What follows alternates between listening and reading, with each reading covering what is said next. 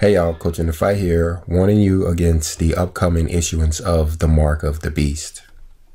And in this video, what we're going to do is review the scripture that identifies what a beast is. And in the process, we'll be identifying who is the man whose name has the number 666. And then we'll be looking in scripture to explain what the mark of the beast is, putting that all together along with our current events and understanding how this mark of the beast will be issued much sooner than you think. So go ahead and hit the like button. Make sure you watch the video to the end, leaving comments as we go, and make sure that you are subscribed as we approach this critical time in human history. So then after wasting a lot of time, I decided to come back to the scripture and try to get some hints on who this guy actually is. Okay. All right, so we hear about him in Revelations 13. So we're going to jump down through here and pull out a few verses Okay. that will help us to understand who this guy is. Mm-hmm. And I believe by the end of this video, everybody's going to be convinced who he actually is. Okay. All right. Well, let's let's start here at verse 1 and we'll look at some of these verses real quickly. Okay.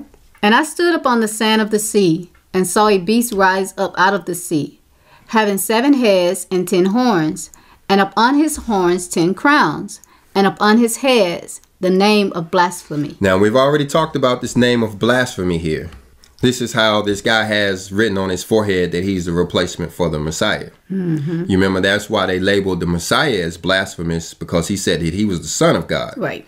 So, him being the Son of God or God Himself was labeled blasphemous for saying that he was the Son of God, mm-hmm. which, you know, we all are actually the sons of the Most High. Right. Here you have this dude that's actually put on his hat that he is the replacement. Mm. That's kind of bold. But then notice this other part where it's talking about having seven heads and ten horns. Right. Mhm. Now we learned in the book of Daniel that a beast is talking about a government. Right. It's kind of given like a scary name. People think of a wild animal. But anytime we see the word beast in the book of Revelation and, and most of the time throughout the Bible, it's simply talking about a government. Mm-hmm. But this one, this particular government is talking about the fourth beast that Daniel prophesied about, saying that he has seven heads and ten horns.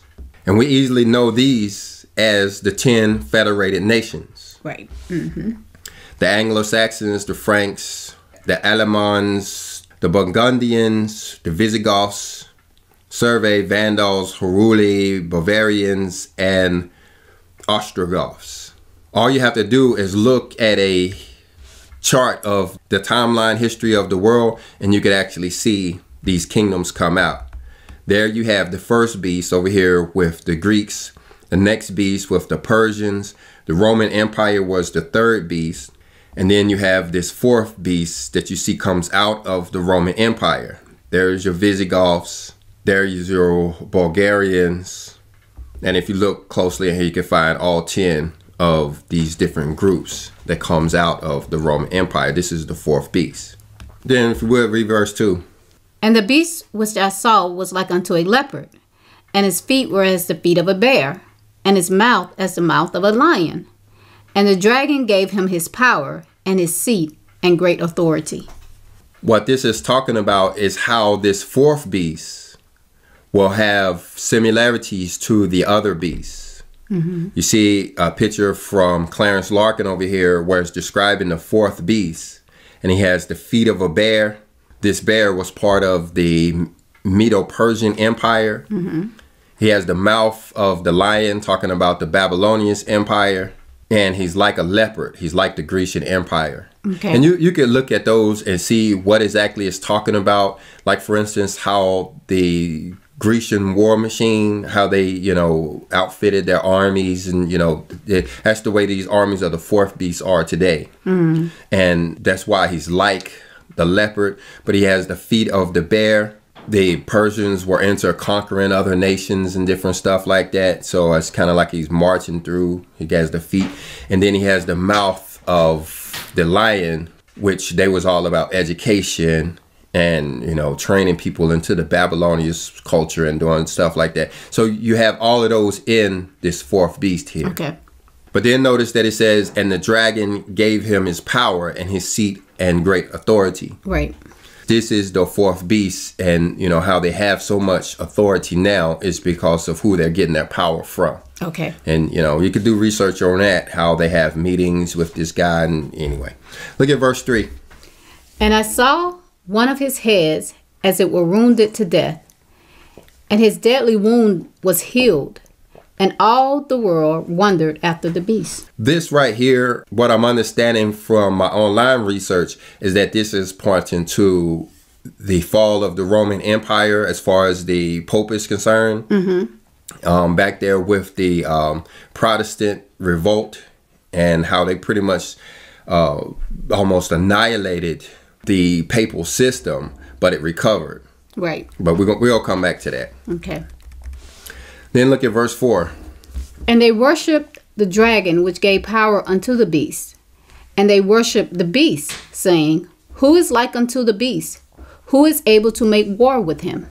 So what this is talking about is all of these federated nations. Mm-hmm. The the UN, United Nations, is pretty much made up of these people now. Mm-hmm. And who would dare go against the United Nations? Right. Um, That's what they're saying. Who who I guess I just said it. Who would dare make war with the beast? All right, look at verse five. And there was given unto him a mouth speaking great things and blasphemies. And power was given unto him to continue forty and two months. But what he's saying there in verse 5 is that this original beast was given a, a mouth speaking great things and blasphemies, and power was given unto him to continue 42 months. And if we look at verse 5 in relationship to verse 3, what this is saying is, is that this beast that John saw rising up out of the sea was in power for 42 months. Hmm, okay. That's going to be one of the biggest clues that tells us who this 666 hmm. guy is. Hmm. But we're going to come back to that. Let's go on to verse 6.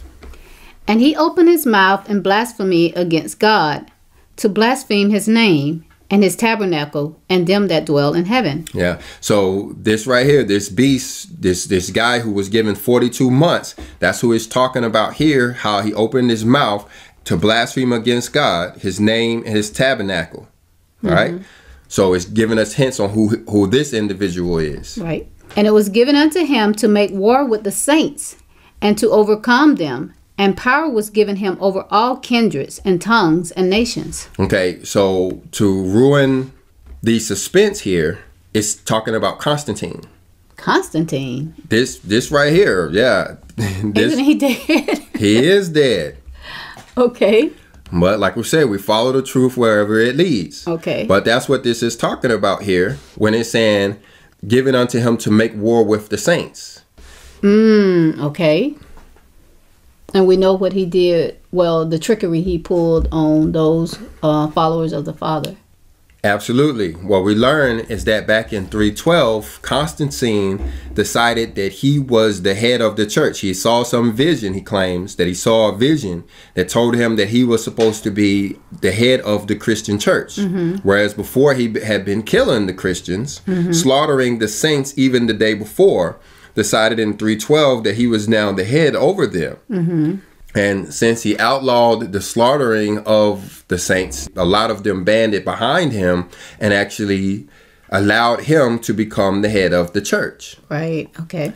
But we learn over here at World's Last Chance, one of the very first thing he did was outlaw the biblical calendar, did away with Passover, and forced people to keep Easter instead. Mm. Okay. And so that's part of what it's talking about over here, where it says he was able to make war with the saints and overcome them by taking away their calendar from them.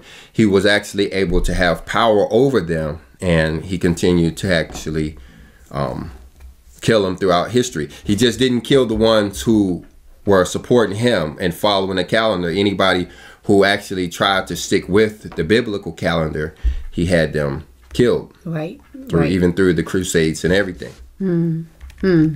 Okay. So this is the guy that was talking about up here in verse 5 that was given the 42 months. Okay. So does that line up? It does line up, but I think you're getting a little bit ahead of us, so let's go on here. Okay. Let's look at verse 8. And all that dwell upon the earth shall worship him, whose names were not written in the book of life of the Lamb slain from the foundation of the world. So anybody whose name was not written in the book of life is worshiping this first beast now. Okay. Or at least at the time. Mm-hmm. Everybody whose name was not written in the book of life was worshiping the first beast, the government system. In other words, they became Catholics. Hmm, they start following the Catholic doctrine, even up to keeping Easter and the other Holidays. holidays of the beast. Those Right. are the holidays of the beast that he instituted, and those whose names are not written in the book of life are following. Even to the day, they're still following those. Mm-hmm, But anyway, let's let's go on. We're still getting a little ahead of ourselves. if any man have an ear, let him hear. Now, what this is saying, if if if you really want to know the truth, you listen. There's, Right. there's many people who don't want to know the truth.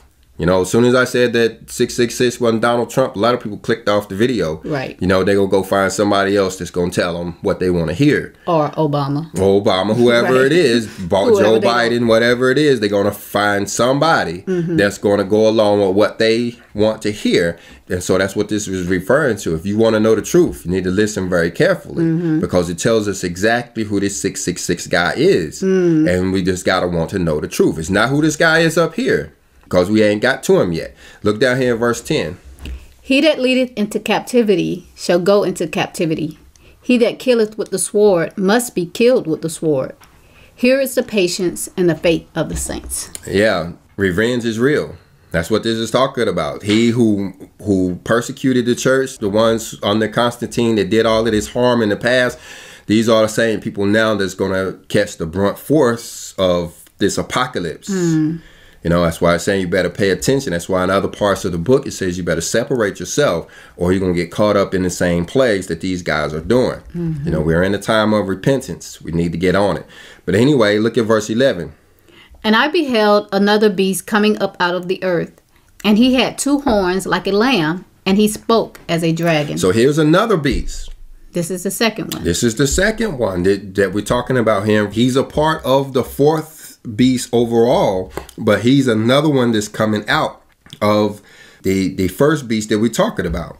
Because if you remember up here, it says that this beast up here was only given 42 months. Right. Back up here in verse 5. So after these 42 months are over that this first guy was given, now down here in verse 11, you got another beast that's coming after this guy. So this uh, second beast is coming after Constantine, but coming out of his teachings. Exactly. hmm Matter of fact, we look at verse 12. And he exercised all the power of the first beast before him, and causes the earth and them which dwell therein to worship the first beast, whose deadly wound was healed. Yeah, so this this second guy is actually pushing everybody to worship the first beast. He's, you know, basically just drawing your attention to him. Look at verse 13. And he doeth great wonders, so that he maketh fire come down from heaven on the earth in the sight of men, and deceiveth them that dwell on the earth by the means of those miracles which he had power to do in the sight of the beast, saying to them that dwell on the earth, that they should make an image of the beast which had the wound by a sword and did live. And he had power to give life unto the image of the beast, that the image of the beast should both speak and cause that as many as would not worship the image of the beast should be killed. And he causes all, both small and great, rich and poor, free and bond, to receive a mark in their right hand or in their foreheads. So this guy, this second individual is doing all of this. Yeah, But then notice right here that it's actually starting to get into this 666 part. right. Mm. All right, read verse 17. We're going to start breaking down who this guy is.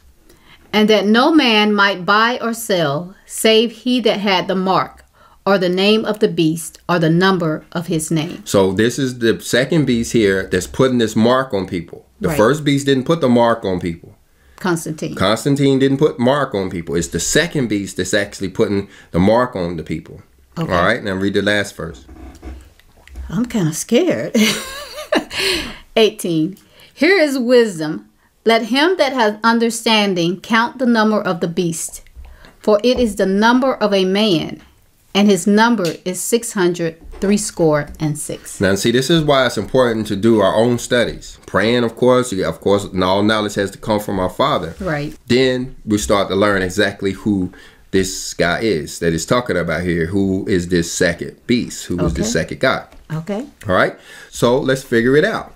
Like we said, the first clue is up here where it's talking about how the first beast only had 42 months. Constantine only had 42 months.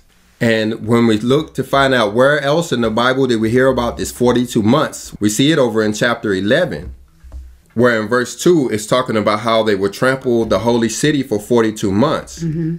And then in verse 3, we see that this 42 months corresponds with 1,260 days. Right. And we've heard this. A lot of people have put this together that the 42 months, the 1,260 days, and the three and a half years are all pointing to the same or similar time period. Mm-hmm. So that's what I decided to do. Praise our Father in heaven, hallowed be his name. I decided to look at where we end up when we start off with Constantine in 312 and go ahead 42 months or 1,260 days. Mm-hmm. And what we end up in is the year 1572. Okay. So the second beast would have started in the year 1572. His reign. He, his reign would have started in 1572. Constantine started in 312. And then 42 months later, we end up in 1572. And who do we find in 1572? Pope Gregory the 13th. Okay. Pope Gregory the 13th started his reign on May the 13th in the year 1572. Okay. So here is the head of your next beast system. And you say, well, what's important about Pope Gregory? Right. Mm-hmm. He's the guy that invented the Gregorian calendar. Mmm. Mmm. I'm starting to wonder now. He's the one who started the. Gregorian calendar. Okay. And of course, we learned in our last class that the mark of our Father is adherence to the biblical calendar and its holy days. Well, it was this Pope Gregory the 13th that instituted the Gregorian calendar. Mm-hmm. Hmm. The thing about Pope Gregory, by instituting the calendars, he's the one who put the mark on the people. See, Constantine didn't create a calendar. Right. Before the Gregorian calendar, there was the Julian calendar. Mm-hmm. The Julian calendar goes all the way back to 46 BC. So Constantine didn't have anything to do with the calendar at all, except outlawing the biblical calendar Right. and making Easter a religious holiday. Mm-hmm. It was Pope Gregory who created a whole nother calendar system. Okay. So he's the one who actually put the mark on the people. But I realized, you know, that's not going to get us there because everybody's waiting to see this 666 thing. Right. Mm-hmm. So let's show you how that works. But first, we have to understand that Gregory is an English name. Mm, okay. In Latin, his name was Gregorius. Gregorian calendar. And so let's look at how that name actually ends up being 666. Okay. You can see how over here I was working on Constantine trying to see if he was the guy 666. His numbers came close to, just like Obama's and Trump's did, but it just didn't add up. But when you look at Pope Gregory, understanding how the Hebrew works, we can figure out what his name is in Hebrew gematria Okay. or real gematria.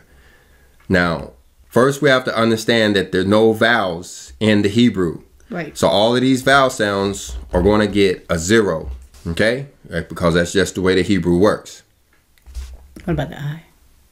We'll come back to the I in a minute because it's not really a vowel sound. It does actually have a number here. Okay. So we'll start with Gregorius first. You have the G, the R, followed by a G and a R. The Gimel is three. The Resh is 200. You see, those four letters gives us 406. Okay. The I would be the Yod. I and Y is actually the same thing. They're just like there's no J in the mm-hmm. Hebrew, there's no I in the Hebrew either. Okay. Both the J and the I are really the Yod. Okay. That's why some names are like Israel and some names are like Joseph. Mm-hmm, mm-hmm. Okay. All right. I, I always wondered that, but okay. But now we get a 10 there. Then the S, the S sound is this Tisach, which gives us a 90. That gives us a total of 506 for Gregorius. okay, Now all we have is the Pope. right. And that is two letters? Two letters P and P, or Pew and Pew, both would give us the 80.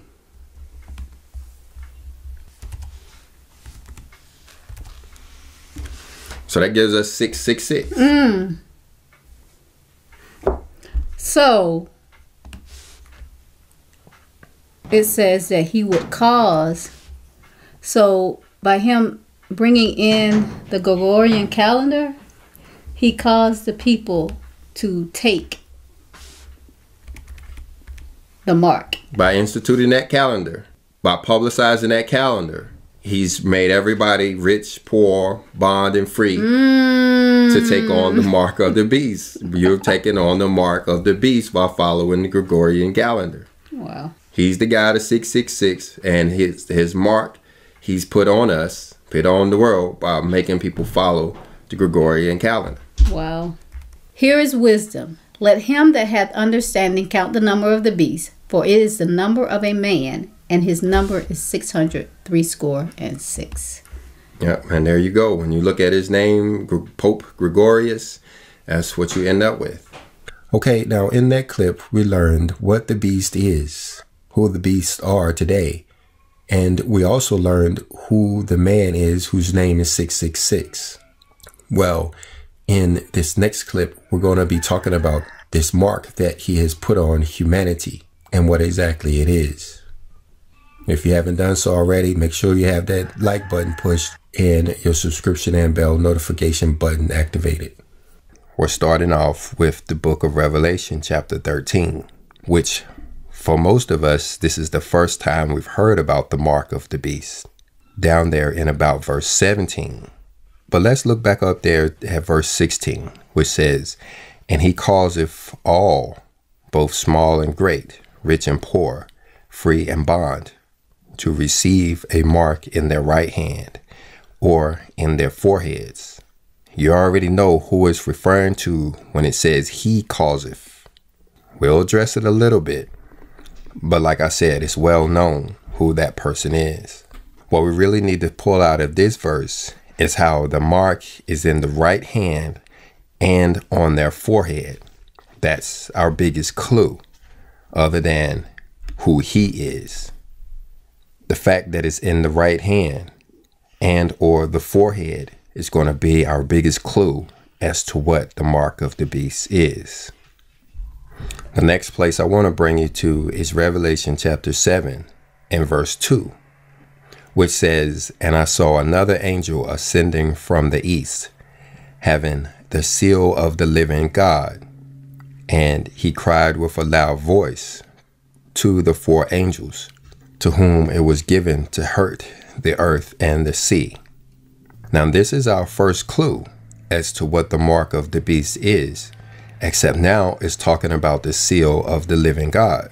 You see down in verse 3 that the servants of God were sealed in their foreheads.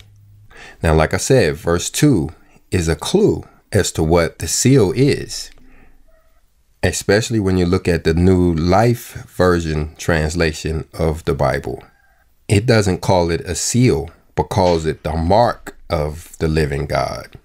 So, what this is telling us is that a seal and a mark is the same thing. So, when we put this together, what we can understand is that both the servants of our Father and those who serve the beast will have a mark in their foreheads.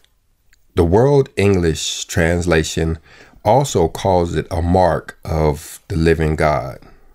But notice that the Wycliffe Bible calls it a sign, just as the Douay Rheims 1899 translation calls it a sign of the living God.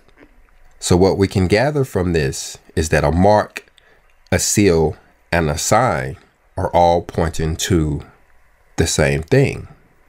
So it's easy to understand how the New Testament for everyone reads that the beast made everyone small and great, rich and poor, free and slaves to receive a sign from it. It says that this sign was marked on their right hands and on their foreheads. It's really important for us to understand how these words are used interchangeably so that we can recognize them when they're talked about in the Old Testament. Like back there in Exodus chapter 13, it's also talking about a mark on the forehead. Except here, instead of saying on the forehead, it says between the eyes. Let me just read verse 9. And it says, And it shall be for a sign unto thee upon thine hand, and for a memorial between thine eyes, that the Lord's law may be in thy mouth. For with a strong hand has the Lord brought thee out of Egypt. So here it is, talking about a mark being placed on the forehead but it's talking about the mark of our Father. Just like in Revelation chapter 7, it's talking about the seal of the living God or the seal of our Father in heaven. Hallowed be his name. You look at verse 16, it says, And it shall be for a token upon thine hand, and for frontlets between thine eyes. For by strength of hand the Lord brought us forth out of Egypt. So now it's saying the word token. But when we get over and we look at the interlinear Bible, we see that token is not used. And in its place, we find sign. So, in other words, a token is yet another name for the word sign and mark and seal. This is confirmed in 2nd Esdras chapter 2, when we see verse 38 says, Rise, stand, and see the number of those sealed at the feast, those who have transferred themselves from the shadow of the world and received bright garments from the Lord. What this is telling us is that the sealing process that we read about over in Revelation chapter 7 occurs at the feast. Here are a couple of other translations of verse 38, which is telling us that we receive the seal of the living God during the feasts of the Lord. And under the Emperor Constantine, this government figure made it against the law to follow the biblical calendar altogether. In fact, the Gregorian calendar that we use today was created in 1582 by Pope Gregory just to calculate Easter. That's what that calendar is all about. That's why they got a new calendar in 1582 altogether. That calendar was created so that they could recalibrate the date of Easter. In other words, it is a Easter calendar. Hey y'all, Coach in the Fight here, guys. Stay with me. Shalom. And today we're talking about how Thanksgiving is the mark of the beast. Mm, okay. Now I brought Stacy in because when I told her that Thanksgiving was the mark of the beast, she expressed a little bit of confusion. and being the representative for all of the church ladies around the world. Okay. We figured if she's a little bit confused, then there's somebody else that may not understand how these pagan holidays, all of them, are the mark of the beast. Yeah, I can understand um, about Christmas, you know, Halloween, um, Easter, but you know, Thanksgiving is such a neutral holiday. It's you know, it's sort of just neutral. Everybody is giving thanks, quote, to the Father, and so I'm very interested in finding out how Thanksgiving is the mark. And I appreciate you saying, expressing how we believe that it was neutral. I, until this day, too, thought it was neutral. But our Father has been working with me on something, even in a dream last night, and I knew there was something going on. And when I started praying about it, I was led in this direction to look up to see how neutral Thanksgiving actually is. And turns out it's not neutral at all. You know, when I would ask um, if it would be okay for us to go up to my grandmother because we always got the invite to join them for their Thanksgiving dinner. And um, I think a couple when we first moved back, a couple of times we did, but you would always express that, you know, that's not necessarily something that you wanted to do.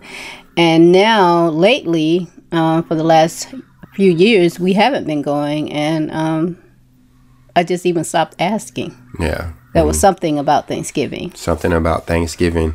Well, in this video, what we're going to do is we're going to look at a little bit of history to show that Thanksgiving is the mark of the beast. All right. So, first of all, we're going to look at Thanksgiving in America. Okay. Going all the way back to the Pilgrims who first celebrated Thanksgiving here on the United States soil, what we now call the New World.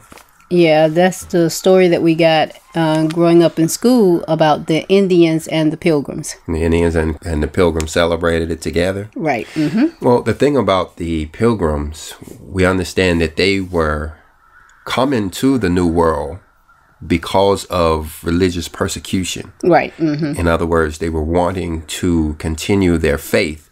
And in order to do so, they felt like they had to come over here on the Mayflower in order to do their feast days or their religion the way they wanted to. Right. When we're looking over at this document from Wikipedia on Thanksgiving, we see that the Pilgrims first celebrated Thanksgiving in October of 1621. Oh, okay. You're not surprised that it wasn't November? I am. Yeah, that's a big deal. And that's going to be the main point of this class is that they celebrated in October instead of November because that tells us what Thanksgiving was, what it actually is. Okay. We know it was a harvest festival. Mm-hmm. And we already talked about how these people were coming to the new world so that they could celebrate their feast days when they wanted to. Mm-hmm. So, as it turns out, what they were celebrating was tabernacles, Mm. the Feast of Tabernacles. So you're saying that they came over here to celebrate their their faith, their feast days, and turned out that the feast days that they were they were celebrating was tabernacles. Well, that seems like a good thing. It absolutely is a good thing. But before we go on and find out why it changed to November, let's have a quick recap on how the sacred calendar works. Okay. The beginning is when the days and the nights are equal, sometime around March the 20th. Mm-hmm. That's when the sun enters what we know as the fourth gate, where it stays there for 30 days. Mm-hmm. The thing about it, you notice that the sun always enters gate three, sometime around September the 18th. I see that. In fact, the first new moon after September the 18th will begin the fall season. Okay. That would be the day we know as Yom Teruah or the memorial of blowing of trumpets. But what's important to note here is how it always starts after September the 18th. Mhm.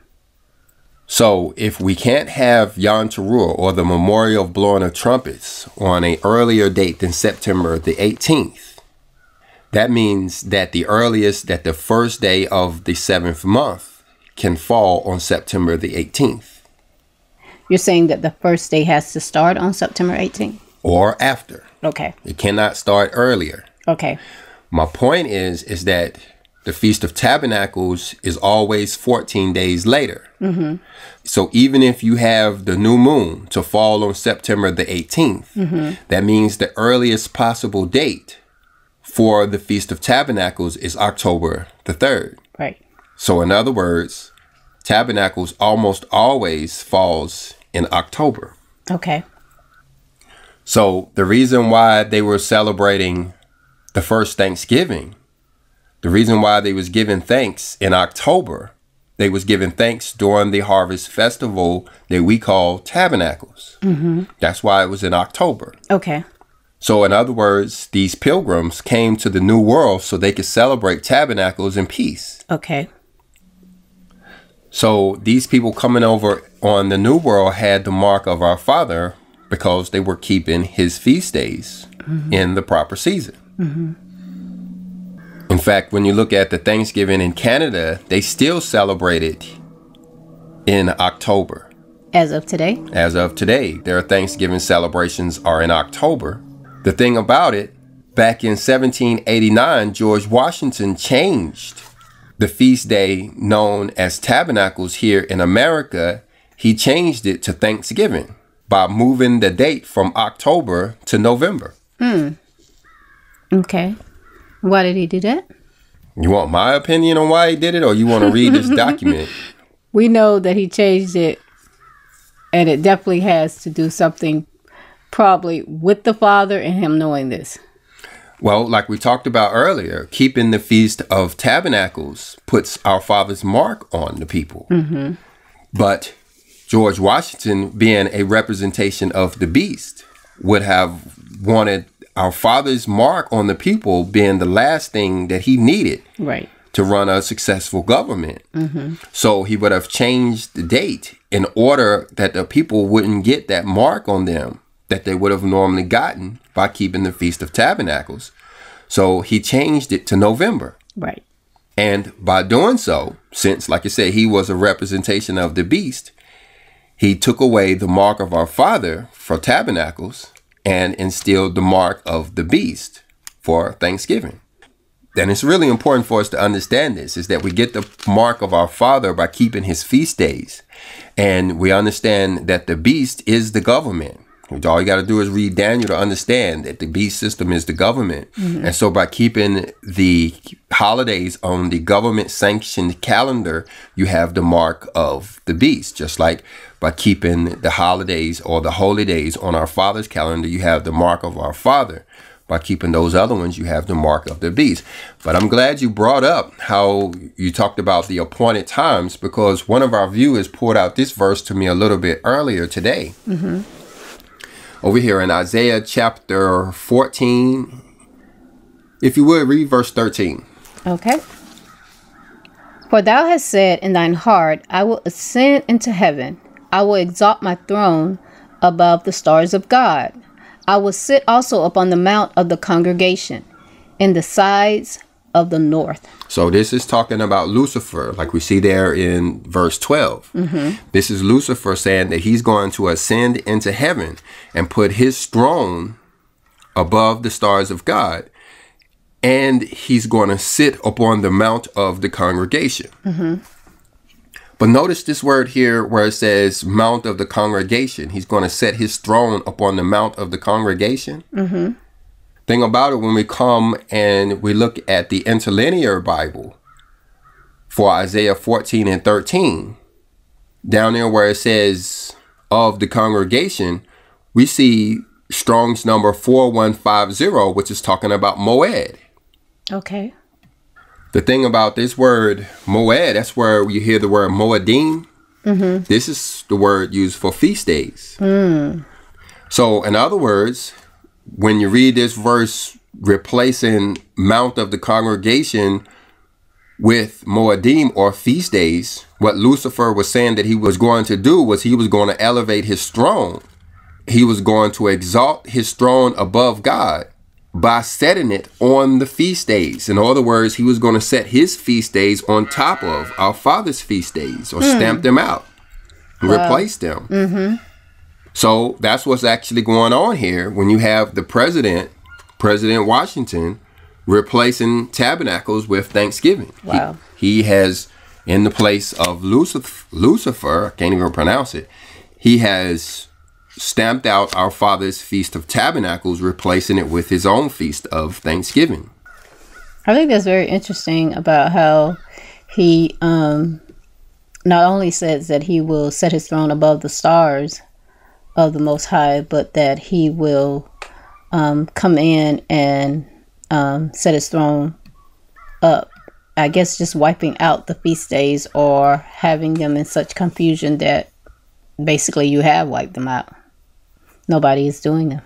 You know, you always say that it comes down to it, it's always about this calendar and it's always about feast days. It's all about these feast days because that's what gives the mark. That's what marks us as his people without keeping the feast days in their proper season. We have to do it on the right day. We can't just do it anytime we want to by keeping the feast days in the right day, it's when we establish ourselves as his people. If we do it on a different day or if we don't do it at all, we establish ourselves as heathen.